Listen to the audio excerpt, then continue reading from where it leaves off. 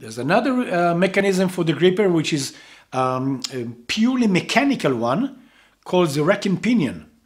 An actuator goes in and out. It's basically a wheel, a straight wheel that goes in and out. It's the rack. It has teeth on both sides.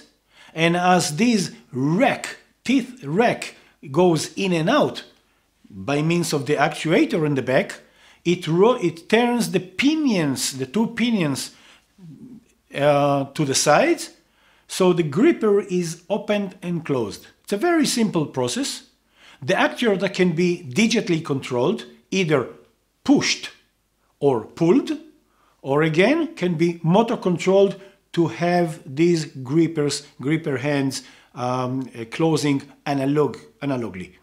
The actuator itself is, a, is an axle by itself that is attached either to a motor or to a piston. If the piston push the actuator, then the rack will go forward, the grippers will go will get close will get closer or open. It depends if it's positive positive mechanism or negative mechanism.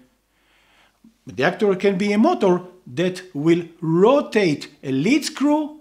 That lead screw will push this uh, rack outside and pull it inside, going in and out in an analog fashion.